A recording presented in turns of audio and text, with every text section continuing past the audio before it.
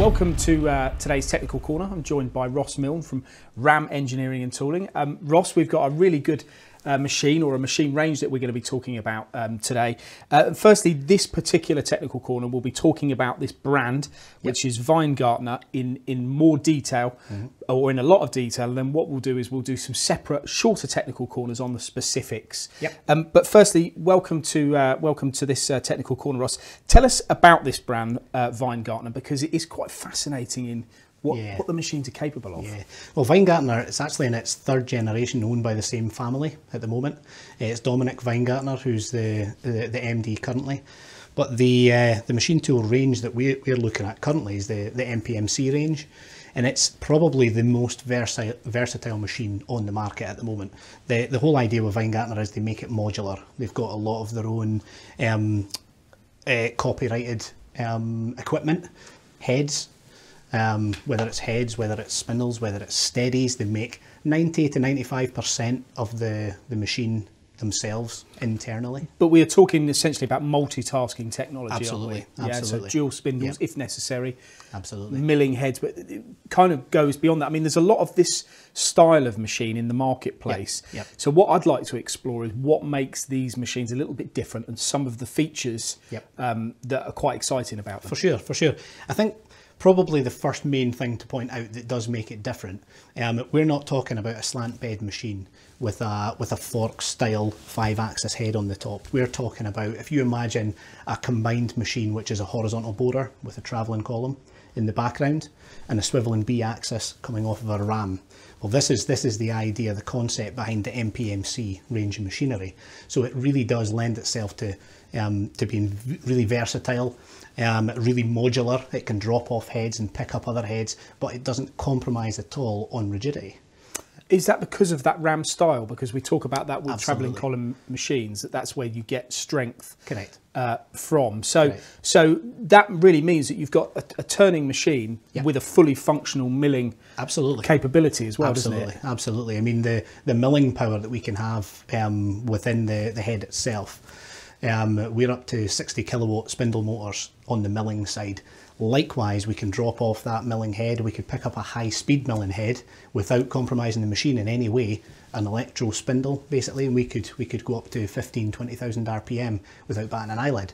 So you're getting the best of both worlds all the time. It's horses for courses with these machines, i.e. you give us a product and you need, maybe maybe you've got some titanium within the product, maybe you've got some aluminium. Well, you can get the best of both worlds instead of having to compromise and get one spindle that will potentially do both not quite so well.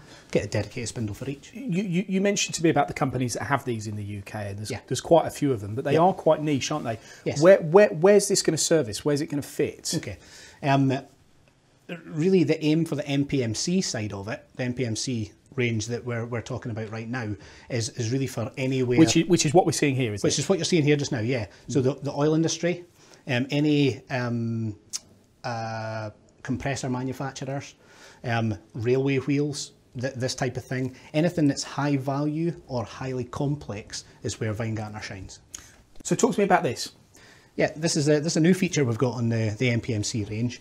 This is for doing um, seat pockets for the oil industry. So basically, the tool here, you insert the tool into the job, then there's an actuator, so which simulates a quill on a boring machine, which will then move and allow the blades to move out into the job. Then you can do seat pockets, back boring, things like that. Bear in mind that this is Inconel clad, so mm. this is this is seriously tough material to cut, and the machine copes with it absolutely. It does no vibrations. I mean, it's it's it's a hell of an operation, isn't it? Absolutely. And absolutely. when I look at some of these heads and these boring bars as well, though, they're obviously then housed uh, Yes. i- i- above the headstock. in all different places. Again, it depends on the, the application that we're looking at. If you're looking for a machine that can do absolutely everything, then we have to be careful where we put things. If you're looking for a very specific machine, for example, the, the, the ABU 400 contouring heads, um, they can go above the spindle. Sometimes they need to go at the back of the machine, depending on what other features you want to have within your machine. What about the, the, the one that fascinated me as well that we were looking at is this one for wheel railway wheel manufacturing. Yeah, yeah. Because so I, I've been to many companies around, or well, one that I can specifically Yeah. Think of that's making these wheels, but they're Yes. using vertical lathes. But Yeah, this yeah. this is doing it in a horizontal format, then, isn't it? It is, yeah. Basically, what we did, um, or what Weingartner did rather in this case is they instead of going for a, a main spindle and a sub spindle, they've gone for two main spindles, a right hand and a left hand. What happens is the forgings get loaded in at the back into the main spindle. Then we'll do some facing, we'll do some boring, we'll do some OD turning. Then the two spindles will kiss in the middle very, very tightly before there's any release to make sure that the tolerances are kept. It'll release, the second side will be completed on the on the right hand spindle, um, while the next one's getting loaded in at the other side. There's a lot of weight in those wheels though to be There transferred from one chuck to a chuck. Is is it secure that process? Yeah, absolutely. Because the because the two spindles, it's not a sub spindle, it's not a compromise on this side. It's two main spindles. So when they push together, push together with enough force that there's no there's no drop. There's no drop with the part. One grabs before the other one releases. So there's Hmm. no issues there at all. And you could use the machines essentially as independent machines themselves. So, You- although you- although you they can. are, as you say, kissing to, to Yep. change the part over, but you could do their independent B-axis heads. C- independent correct, correct. It's got it's got two independent B-axis heads, so you've got the turning capability and the m- milling capability, but full milling capability because they are their own milling spindles. Um, but essentially, as you mentioned, they are compar- compartmentalised. You've got your left-hand spindle working and your right-hand spindle working in its own area.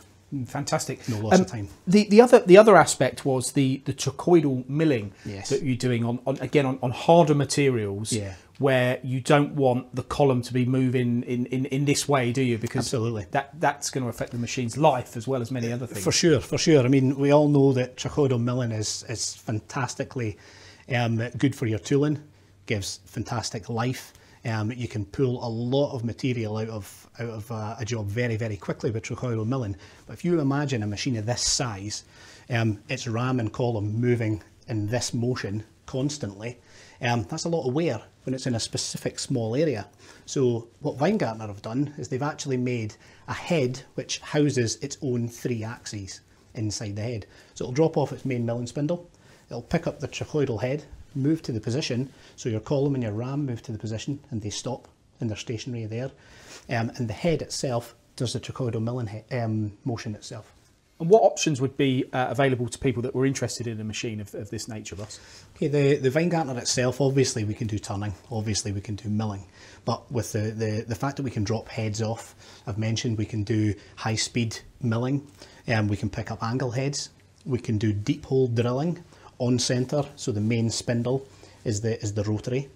Um, but we can also we can also swap it round and do, do ejector drilling through the milling spindle. So the milling spindle is doing the rotation and the part is sitting static. Um, uh, we have other things like whirling heads, so we can drop off the milling head, pick up a whirling head to do parts like this, just as an example. Um, adjustable boring bars, we can for, for large deep bores, we actually have its own separate unit where the, the boring bar itself can adjust in and out. Again, rigidity. Steadies like this that are following the, the steadies. Steadies. We we do up and over steadies. Um, for larger component parts, we also do hydrostatic steadies. Again, these are we do use other manufacturers' steadies from time to time, um, but Weingartner tend to manufacture the majority of their steadies because it's normally quite bespoke parts that we're machining. So we actually have hydrostatic steadies as well. So there's no there's nothing holding it in. The part is big enough and weighty enough that it sits basically on a bed of oil. There's no contact with the with the, the part itself. really what we're saying by this type of machine is where manufacturers are moving parts around machine shops to do various operations on different machines, whether it Yep. be turning, milling, Yep. eliminating all that by just using one cell, which can, can cater for it all. Um, a lot of technical expertise needed for something like this, Ross. Is this, is this what RAM's about? I mean, Absolutely, You know, what's the lead time? How are you going to spec this to Yeah. suit the customer? Well, uh, I mean, we enjoy getting the, the, the chance to quote on any machine, but we tend to where we where RAM try to excel is we we get a drawing from a customer. Be that for the smallest machine or for a machine like this, we get a drawing. What's the best way for me to manufacture that? That's always the way that we work with Weingartner. There's drawings first. We work out the best way of doing it, the optimal way of doing it, and then we, we try and find out where that happy medium is for the customer on cost, on performance, and what we're offering as the optimum. And, mm. and, and it's a technical sale. It's a technical sale, it's a technical application, and it's not a case of here's your machine, off you go. It's here's your machine, let's work. Yeah, it's a solution. It truly is a solution. A fantastic plant there. That's the uh, Weingartner range available from RAM. Uh, talk to Ross here. You can contact him. His website. We'll put the details on the screen as well. That's it for today's uh, technical corner. Thank you very much, Ross. Thank you.